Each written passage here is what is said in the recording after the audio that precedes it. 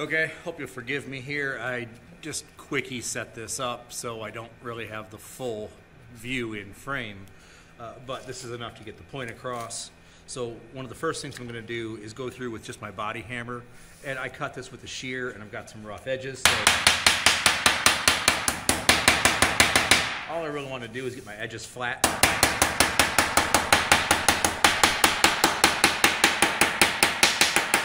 basically take down any of the curl that the um, handheld shear might have put in there.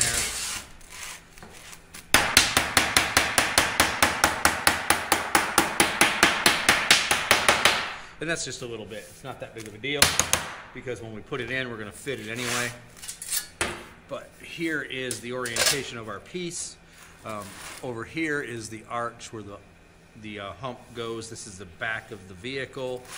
So we're going to go through and we're going to put a little line on here and uh, use my Sharpie indicator stuff.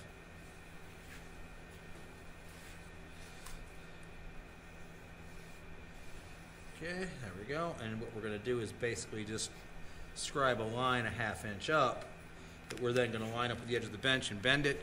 Um, this bench has a rounded edge to it versus a very tight 90 which I'd actually kind of prefer a little bit. Can always tighten it up if I want to, uh, but we're going to go through and do this with, um, sorry, my cheapo calipers here that are messing up.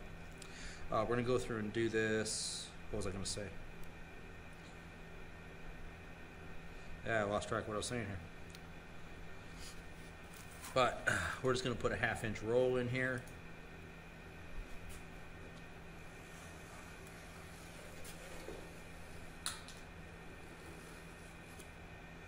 There we go.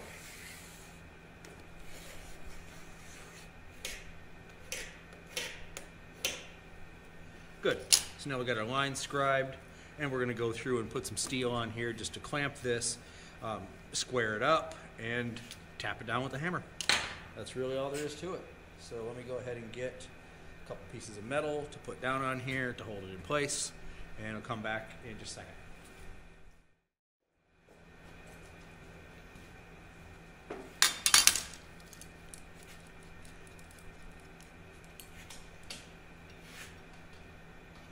And now if you notice, I'm not clamping this right at the line. The line is gonna be the edge of the desk and the table, and I need some room to tap with the hammer. If I'm right up against here, you don't get any room to get the hammer in. And it makes it kind of hard to, uh, to roll that over.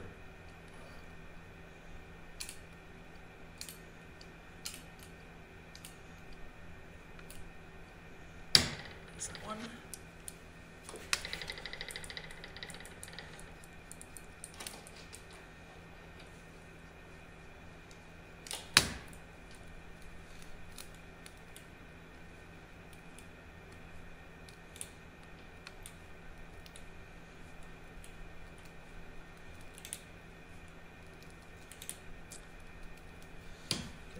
Go. And now all we needed was just something here so we can see. Uh, so this is going up against the edge of the table. I'm going to line this up with the scribe line and just tap it in until we're in the right spot.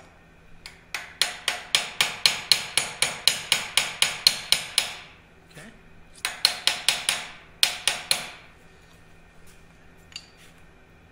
Oh, that one's dead on. Good. Did pretty good with that. And then we're just going to come through, little by little, roll this edge over. You don't want to go too fast with this because when you're doing this, if you go if you do too big of a whack, it wrinkles the metal because you stretch it in between hammer marks and you put a wrinkle in it. So we want to go slow just to roll this edge.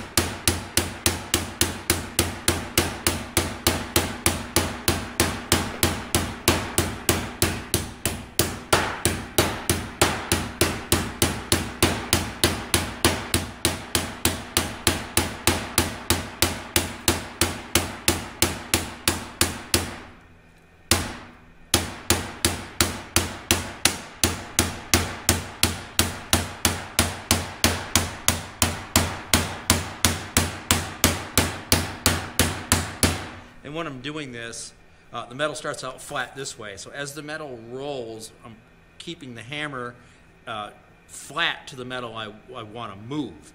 I'm not continuing to do this because then we'd be using just the edge of the hammer and that would leave little circular gouges. So what we want to do is hit the metal flat and kind of in a glancing blow downhill. So.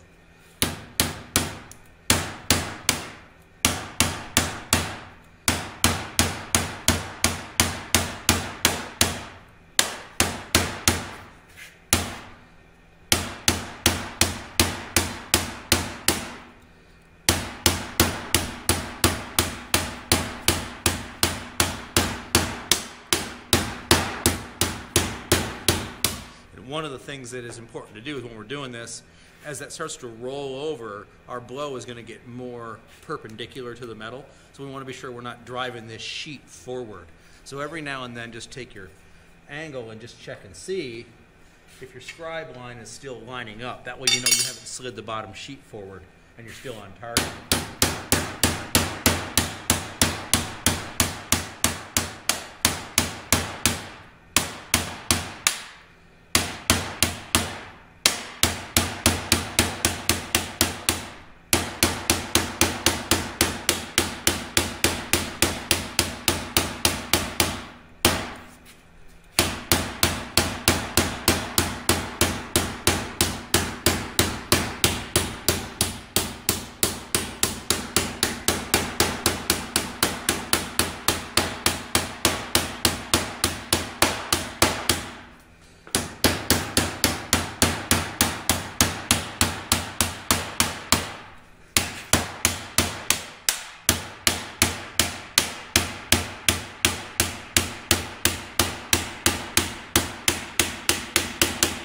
There we go, and we're starting to wrap pretty well, so we're going to bring this around.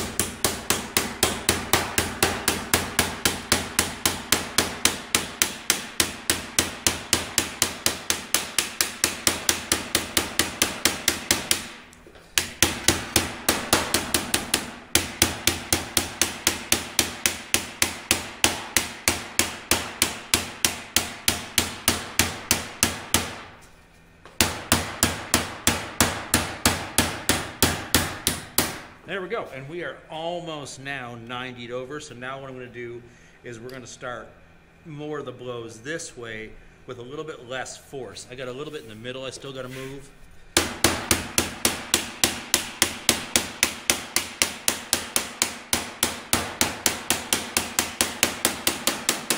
Okay, now that we're, we've rounded our corner, what I'm going to start doing is on the corner start tapping and going down as I go to bring that around the corner here.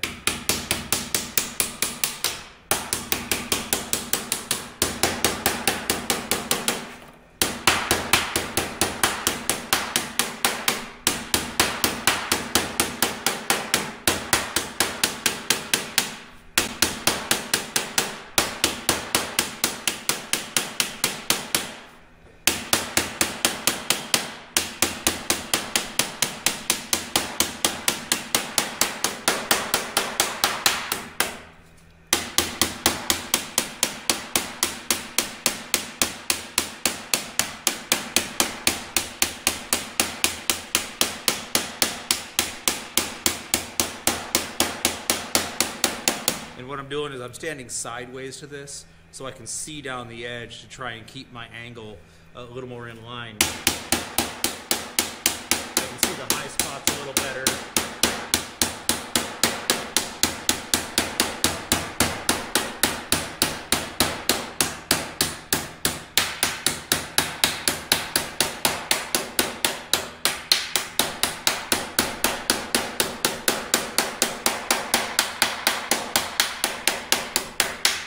And now I'm fully rolled on this side. So what I'm doing is I'm tapping until I hear and feel the hammer against the table.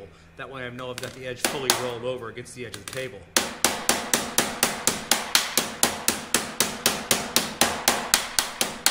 I don't know if it comes through on camera, but here's a sound when I'm against the table, and here's when I'm against metal that still has to fold.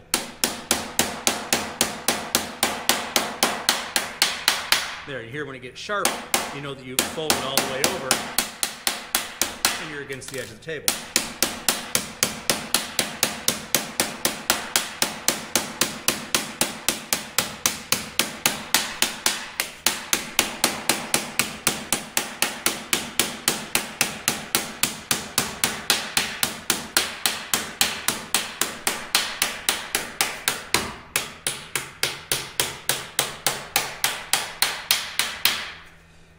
Okay, a little more on this side.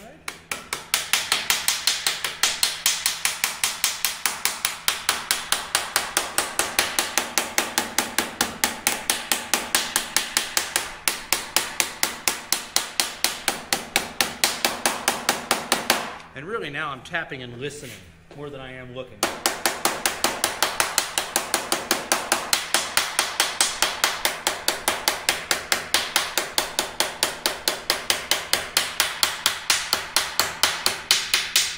just to know that I'm fully seated. There we go. I'm gonna do one more quick little check to see if our scribe line moved. Same place, great. So go ahead and take these off.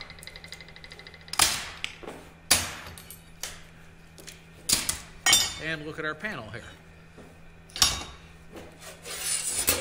There we go. And hope you can see, that's not too bad, that's pretty straight. So what we're gonna do is we're just gonna flip it on the table and give it a few hits just to make sure that edge gets flattened out.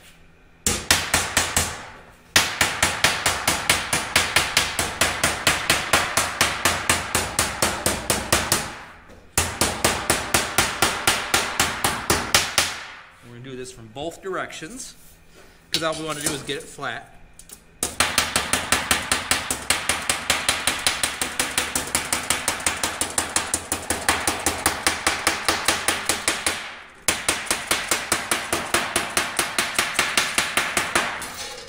There we go. And that is pretty darn straight, especially for something that's going to be underneath.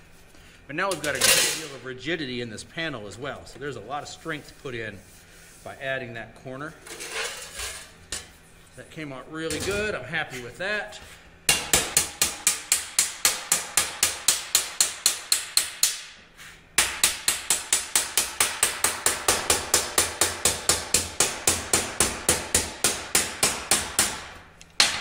There we go. What a nice formed panel. We're gonna go over and we'll pop this back in the Jeep and start drawing out some more lines and figure out where this is actually gonna fall in at.